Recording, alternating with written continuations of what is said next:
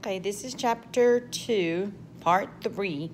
We're gonna start um, a little where we left off. We're gonna go over a little bit um, what we have already went over, but I'm gonna go ahead and make it fresh. Start at CVA or stroke on this page 42.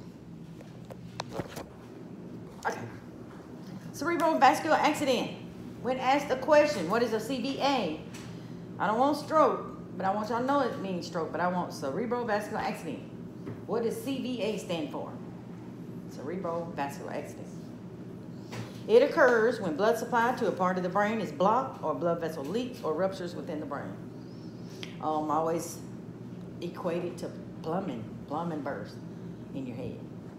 Um, whereas opposite, your heart attack is your heart. That's the only two differences. Stroke happens in your brain, heart happens in your heart. Uh, a trans transient ischemic attack is kind of like it went through. Uh, maybe a clot went through or something happened where they kind of go out and then they, they regain consciousness. Uh, sometimes they lose some of their abilities. Sometimes first thing they um, have a little slurred speech sometime or, or something's a little weak. But a lot of times it is um, it comes back, whereas maybe the stroke, maybe not. Um, but that is also a precursor to a real stroke. So if that happens to you, they need to start putting you on some thinner, blood thinners, so you are less prone to clot. Because something happened, it's like a clot went through your brain, it didn't stop, which is a wonderful thing, but um, it causes that TIAs. Um, signs that a CVA is occurring, facial numbness, weakness, or drooping, especially on one side. Because your brain operates your your left side operates your right. So if you got an injury on this side, it's gonna affect your right side. Um, same here. But if it's in like in the back motors, it could affect both sides. But a lot of times your stroke really affects one side really bad. Um, and most of the time it's that one-sided weakness that you're gonna notice that one face drooping, they start slurring or slobbering out the side of their mouth or it's something. Um, and that's that's the stroke. Uh, arm or leg numbness, especially on one side, slurred speech, inability to speak, use of inappropriate words. One young man, he wasn't young, probably 57, and um, he was having a stroke. We did not know it. You wouldn't have known it. But only thing he kept saying, like, I want to go, um, I want to go couch. Something crazy like that. And he's like, I don't want to say that. And he literally said that to me. I don't want to say that. Then he said something else and he just used weird words. He said, I'm, I'm trying to think of the right word, but it, it wouldn't come to him. And we sent him to the hospital because that was just strange and odd. And that's one of the odd things that uh, a stroke, maybe it was affected, whatever that part of the brain was, maybe it was affected then. And um, that's how it was. He was using inappropriate words just in a, in a, in a weird spot. Um, inability to understand spoken or written words. Maybe he's saying, you know, I don't understand you. What are you saying? And you're just as plain spoken and everything. Yeah, I can hear you, but what? You're like speaking jumbo. And um, that's a sign of a stroke too, that they can't, something's happening between the messages from you to their brain. They're not getting it. Um, redness in the face, noisy breathing, dizziness, blurred vision, trouble walking, loss of balance. A lot of them fall because it's one, one side, they'll, they'll fall. Ringing in the ears, severe headache, nausea, vomiting. I've seen that. They vomit before. It's either when it's unexpected weird and hard, and they're not really nauseous, and they just kind of, ah, you know, it's something in the brain triggers that, and I don't know what it is, but um, it's heart attack or stroke a lot of times, so that's just a weird sign. Um, paralysis, of course, on one side of the body elevated blood pressure, slow pulse rate, loss of consciousness. In addition, women have little different symptoms sometimes, pain in the face, arms, and legs, hiccups, weakness, chest pain, shortness of breath, palpitation, um, any of that kind of stuff. Let's just go to the doctor if it's odd and strange. And we're so good at, you know, I, will even feel my heart feel like it's fluttered. And I'll be like, should I go to the doctor? No, I'm fine. But one day it's going to do something, and I'm going to be in trouble if I just say up his spine. But um, women, a lady had um, her back was hurting her bad. She was like, "Oh my back, oh my back." That was actually a heart attack though, but same kind of thing. You know, that has nothing to do with your heart, but her back was killing her and it kept it. And it got real bad. She wanted to go to the ER for her back. Got there and she was having a heart attack. Back wasn't really injured or really hurting, but the pain receptors are weird with the inside parts of your body. I had the spleen messed up, and I had the heart attack symptoms, the, the shortness of breath, like somebody punctured my lungs. Like somebody literally put a hole in my lungs. And I, I told them, I said, maybe my lungs are punctured, because it was after a fight. It hit me in my spleen. And um, they thought I was having a heart attack too. But it, it wasn't none of that. Um, I mean, it went down my arm. I mean, like, I was hurting. And um, it was my spleen. But all your little parts in your body doesn't have the right pain receptors. That it hurts in another place. So that's why watch out for weird hurting. And you know, you ain't hurt nothing. I ain't hurt my arm. I know, you know. But that was just my spleen. So just know, maybe a different. Vomiting, it is called, the other name, we say emesis. We can say vomiting, that's not a bad word. Emesis um, is the one we're probably gonna chart, we'll say emesis. Um, it's the act of ejecting stomach contents through the mouth and or nose. So underline that, that's your famous, you know, scientific wordage. It just means vomiting, throwing up. That's all that means. We can't do a lot for a patient who's vomiting, but take care of them, clean them up afterwards. Um, me, if it's right before, as a nurse, I can give you some nausea medicine. Um, uh, as a CNA, you know, offer them maybe ginger ale, saltine crackers, things like that. Um, and maybe sometimes that settles the stomach. Uh, I offer my trash can as well. You know, uh, be careful. Go sit down and use this trash can. Don't come up here at me. I've actually been thrown up on. But that's vomiting. Um, make sure we put our gloves on, that is bodily fluids, um, in this thing. And a lot of times we'll have to measure it. And note, was it ground up? Was it watery? What color was it? Was it barely digested? Uh, that tells a lot to our doctor, um, what's going on with it. Describe the de and demonstrate infection prevention practices. So infection pre prevention is exactly what it is, preventing infections. First, we have to have a microorganism. It's a living thing or organism that's so small that can only be seen by a microscope.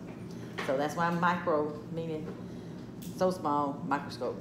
Uh, microbe is another name for microorganism. Underline what infections are.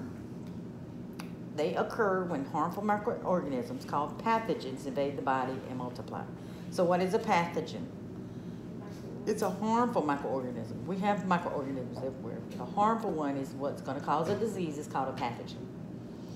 Um, then they drop to localized infection. You've got an infection, but it's localized. Say you got a cut on your arm, and you it's infected, red, swollen.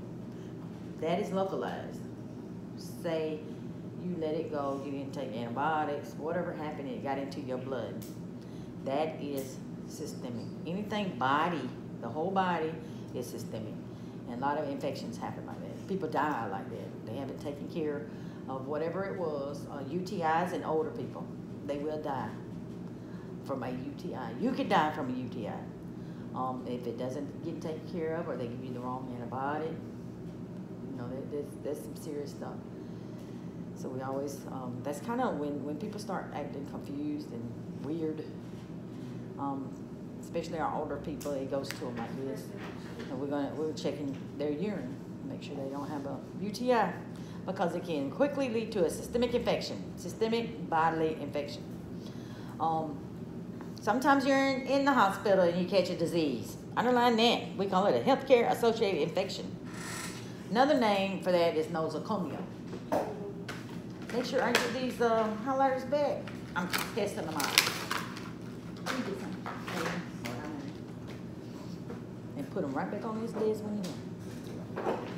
Healthcare associated infection, HAI, or also know that word nosocomial. We'll learn that somewhere. I don't see it, but it's in here somewhere. Uh, chain of infection, you've got to have these six things. An agent, which is what's causing it. Then your reservoir, where it lives. The port of exit, how is it getting from me to you? Uh, a, a port of entry, how does it get into you? and you have to be a susceptible host. Maybe it's um, the uh, flu. And so that's what we use for now. We use the flu.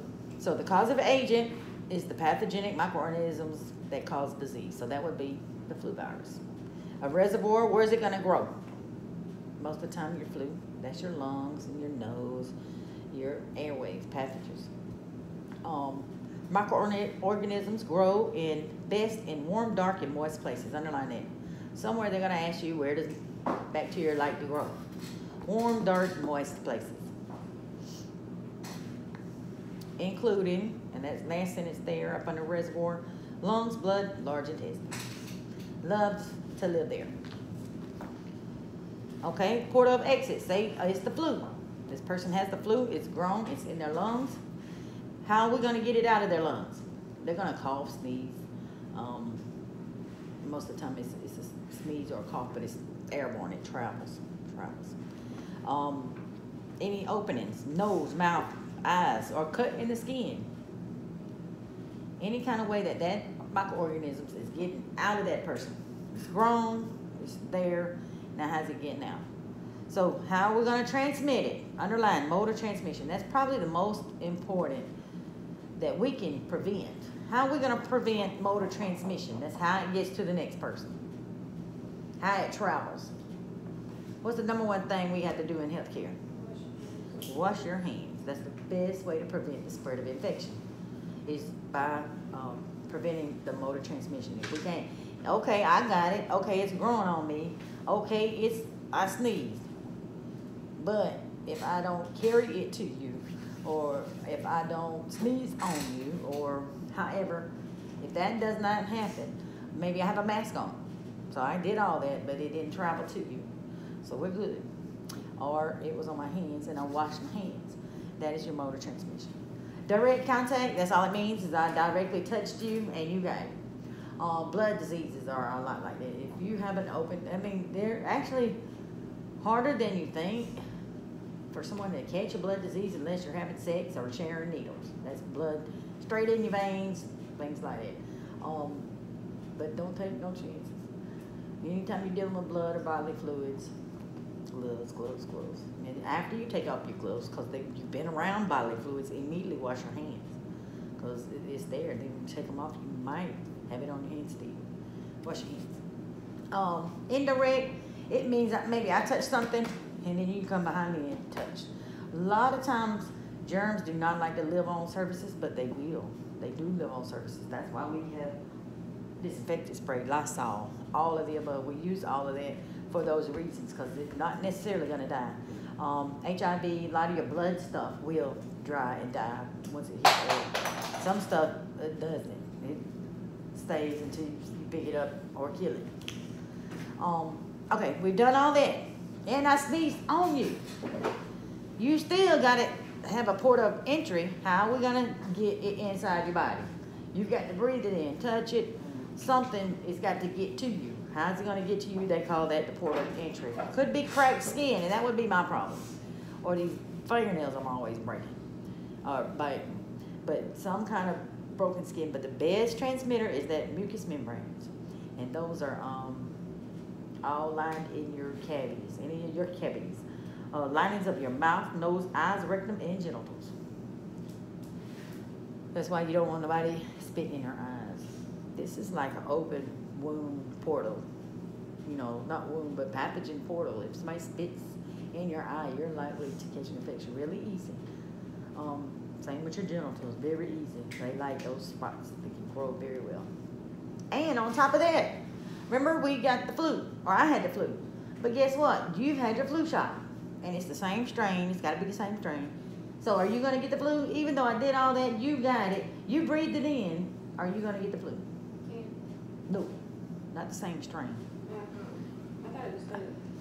Uh, same strain you're going to be immune to. That doesn't mean all flu, but there's several strains.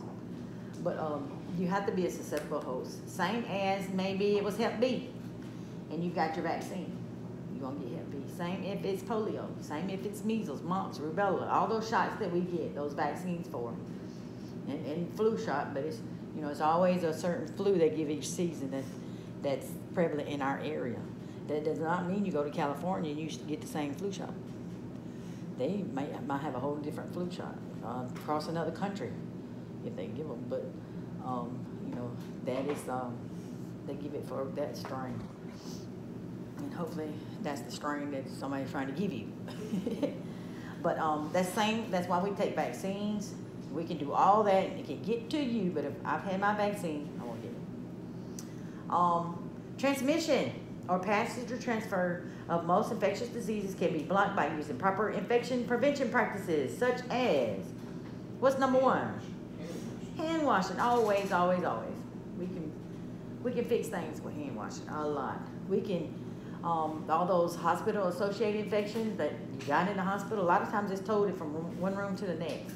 Sometimes they have done studies where they'll take that bacteria, study it, and figure that bacteria is the same bacteria that was in this room, in this room. You might, they can, might can even figure out the, the, the nurse that took it, or the, you know, it could have been a wound care nurse, or it could have been a CNA who did this and that. That's why they're trying to do so much dedicated equipment. Dedicated means your equipment. That means your blood pressure cuff, your everything in your room. When you're done with it, they take it and um, get it cleaned. But um, it's yours the whole while you're in there. And if you got anything infectious, they try to do that. Blood pressure cuffs, um, they try to leave in your rooms, things like that at the hospital. Instead of carrying that same machine from you to you to you, you might catch something.